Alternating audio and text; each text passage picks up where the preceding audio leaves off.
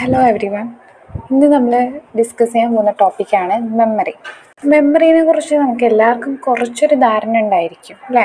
സൈക്കോളജിയിലേക്ക് വരുമ്പം എന്താണ് മെമ്മറി അതിന്റെ ഡെഫിനേഷൻ അതുപോലെ എന്തൊക്കെ ടൈപ്സ് ഓഫ് മെമ്മറി ഉണ്ട്? പിന്നെ അതിൽ നടക്കുന്ന പ്രോസസ്സ് എന്തൊക്കെയാണെന്നൊക്കെയാണ് നമ്മൾ ഈ വീഡിയോയിൽ ഡിസ്കസ് ചെയ്യുന്നത്. What exactly is memory memory എന്ന് പറഞ്ഞാൽ ശരിക്കും എന്താണ്?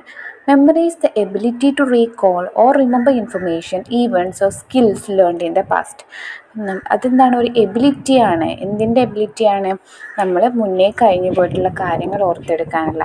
അത് സ്കിൽസ് ആയിട്ടിട്ട് നമ്മൾ നേടിയെടുത്ത സ്കിൽസ് ആവാം. അല്ലെങ്കിൽ നമ്മൾ പഠിച്ച ഇൻഫർമേഷൻസ് ആവാം. അതൊക്കെ ഓർത്തെടുക്കാൻ അല്ലെങ്കിൽ റീകോൾ ചെയ്തെടുക്കാനുള്ള എബിലിറ്റിക്കാണ് നമ്മൾ മെമ്മറി എന്ന് പറയാം. Memory refers to the cognitive process involved in encoding storing and retrieving information ഇപ്പം മെമ്മറി എന്ന് പറയുന്നത് ഒരു കൊഗ്നിറ്റീവ് പ്രോസസ്സാണ് കൊഗ്നിറ്റീവ് പ്രോസസ്സ് എന്ന് പറഞ്ഞു കഴിഞ്ഞാൽ എന്താണ്? നമ്മുടെ ബ്രെയിനിൽ നടക്കുന്ന പ്രോസസ്സുകളെയാണ് കൊഗ്നിറ്റീവ് പ്രോസസ്സ് എന്ന് പറയുന്നത് മെമ്മറി എന്ന് പറയുന്നതും എന്ത് തന്നെയാണ്? ഒരു കൊഗ്നിറ്റീവ് പ്രോസസ്സാണ് നമ്മുടെ ബ്രെയിനിൽ നടക്കുന്ന ഒരു പ്രോസസ്സാണ് മെമ്മറി എന്നുള്ളത്. ആൻഡ് ഇതിൽ പല സ്റ്റെപ്സ് ഉണ്ട് അല്ലെ? പല സ്റ്റേജസും ഉണ്ട്. ഇതിൽ വരുന്ന സ്റ്റേജസ് ആണ് encoding storing and retrieving information അത് നമ്മൾ കൂടുതലായിട്ട് ഈ- വീഡിയോയിൽ തന്നെ നമ്മൾ പറയുന്നുണ്ട്. എൻകോഡിങ് സ്റ്റോറിങ് റിട്രീവിങ് ഇതൊക്കെയാണ് അതിൽ നടക്കുന്ന സ്റ്റേജസ് അല്ലെങ്കിൽ പ്രോസസ്സ് അപ്പോൾ ഇവിടെ എന്താണ് ഇൻഫർമേഷനെ പ്രോസസ്സ് ചെയ്യപ്പെടുന്നു റീറ്റെയിൻ ചെയ്യപ്പെടുന്നു ലേറ്റർ റീകോൾ ചെയ്യപ്പെടുന്നു. ഇതാണ് ആകെ മൊത്തം മെമ്മറി എന്ന് പറയുന്നത്. നമ്മൾ ഇൻഫർമേഷൻ ആദ്യം പ്രോസസ്സ് ചെയ്യുന്നു. എന്നിട്ട് എന്താണ് അത് റീറ്റെയിൻ ചെയ്യുന്നു. നിൽ- നിലനിർത്തിക്കൊണ്ട് വന്നു എന്നിട്ട് നമുക്ക് ആവശ്യമുള്ള സമയത്ത് അത് റീകോൾ ചെയ്തെടുക്കുന്നു. മെമ്മറി എന്ന് പറയുന്നത് നമ്മുടെ ജീവിതത്തിലെ ഏറ്റവും അത്യാവശ്യമുള്ള ഒരു കാര്യമാണല്ലേ?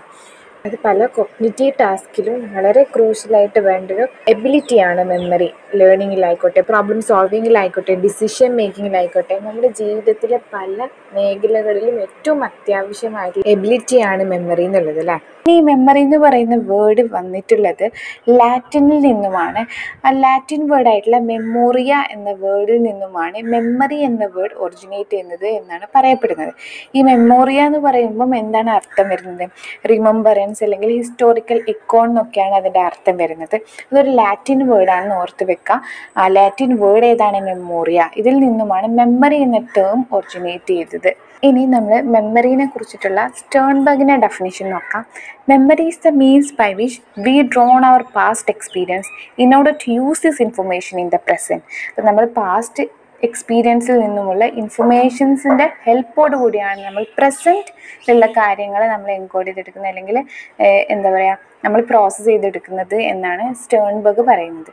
ഇനി മെമ്മറിയിൽ ഇൻവോൾവ് ആയിട്ടുള്ള ത്രീ കീ പ്രോസസ്സുകളെ കുറിച്ചിട്ടാണ് പറയുന്നത്.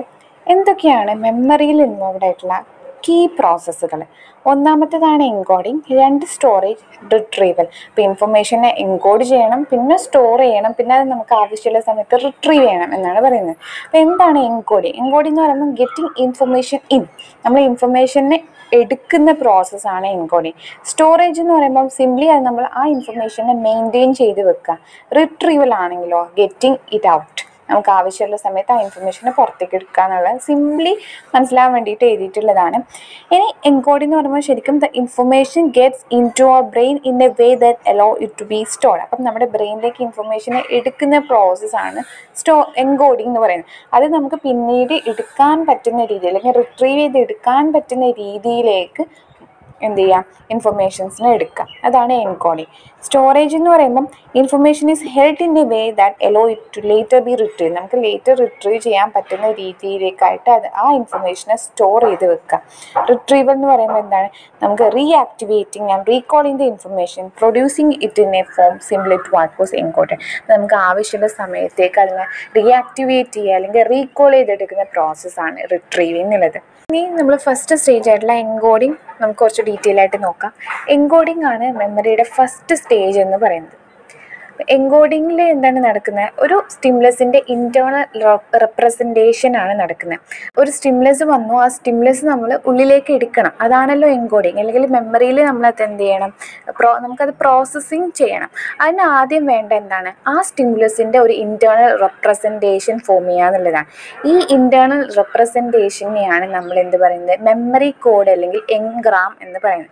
അപ്പോൾ സിംപ്ലി എന്താണ് എൻകോഡിംഗ് എന്ന് പറഞ്ഞ process formation of internal representation of a stimulus ആണ്. അല്ലെങ്കിൽ നമുക്ക് എന്ത് പറയാം? Formation of a memory code എന്ന് പറയാം. എക്സാമ്പിൾ പറഞ്ഞു കഴിഞ്ഞാൽ കുറച്ചും കൂടി നിങ്ങൾക്ക് മനസ്സിലാവും. അപ്പം നമ്മുടെ അടുത്തേക്ക് ഒരു സ്ട്രേഞ്ചർ ആയിട്ടുള്ള ഒരാൾ വരാണ്.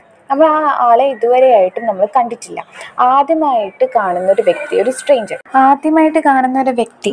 അപ്പോൾ ആ വ്യക്തി നമുക്ക് എന്താണ്? ഒരു സ്റ്റിമുലസ് ആണ്. ആ സ്റ്റിമുലസിനെ നമ്മൾ ഇന്റേണലി റെപ്രസെന്റ് ചെയ്യും. ഇന്റേണലി റെപ്രസെന്റ് ചെയ്യും അല്ലെങ്കിൽ എൻകോഡ് ചെയ്ത് വെക്കും. എങ്ങനെയായിരിക്കും എൻകോഡ് ചെയ്യുക നമ്മുടെ അവരുടെ ഫിസിക്കൽ ക്യാരക്ടർ വെച്ചിട്ടാവാം. അതുപോലെ അവരുടെ ബിഹേവിയർ വെച്ചിട്ടാവാം. എന്ത് വെച്ചിട്ടുമാവാം നമ്മൾ സപ്പോസ് അയാൾ ടോളാണ് കേളി ആയി ഹെയറുള്ള ആളാണ് ഫ്രണ്ട്ലി ബിഹേവിയർ ആണ് എന്നൊക്കെ നമ്മൾ മനസ്സിലാക്കി അതിനെ നമ്മൾ അങ്ങനെ ഇന്റേർണലി റെപ്രസെന്റ് ചെയ്തു എന്ന് വിചാരിക്കുക. അല്ലെങ്കിൽ അങ്ങനെ മെമ്മറി കോഡായിട്ട് എൻകോഡ് ചെയ്ത് വെച്ചു.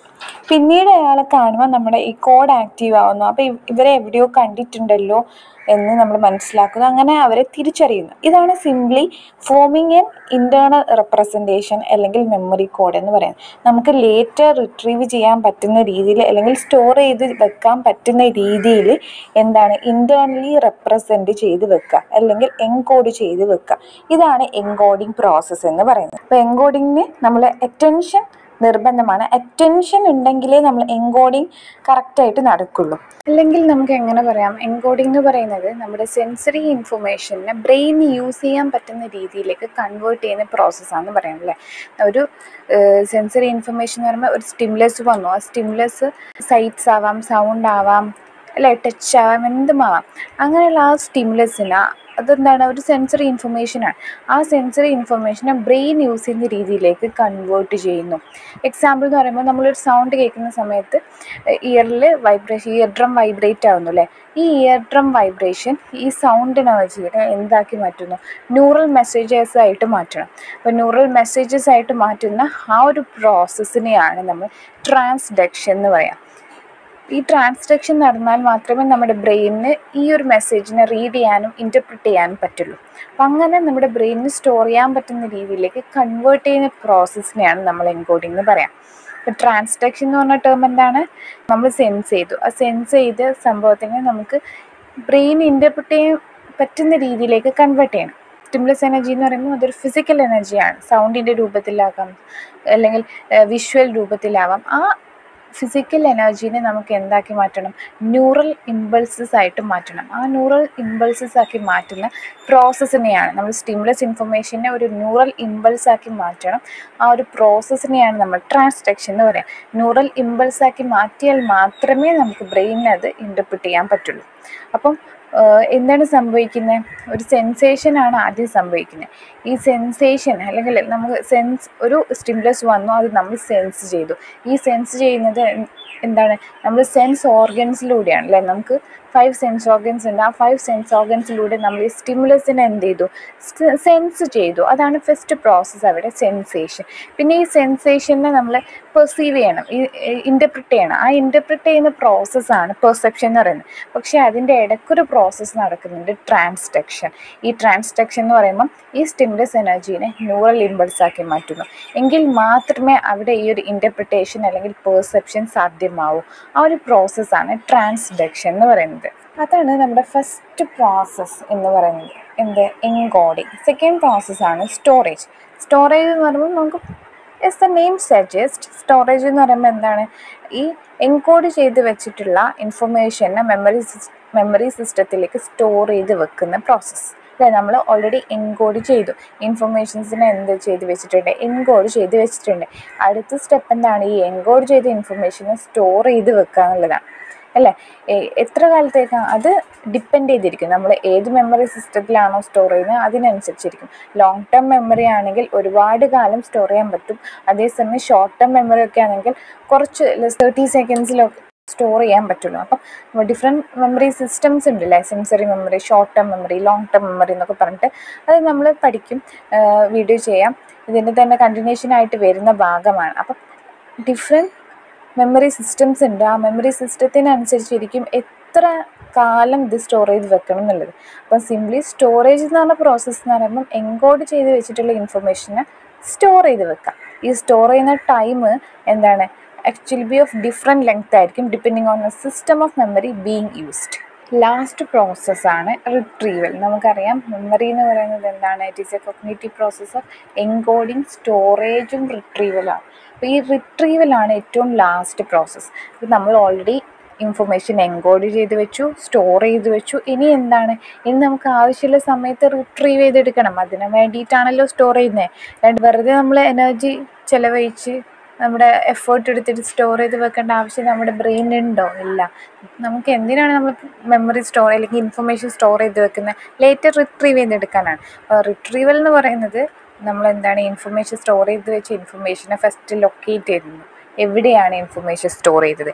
ആ ലൊക്കേറ്റ് ചെയ്തതിന് ശേഷം അത് റിക്കവർ ചെയ്തെടുക്കുന്നു അല്ലെങ്കിൽ റീകോൾ ചെയ്തെടുക്കുന്നു.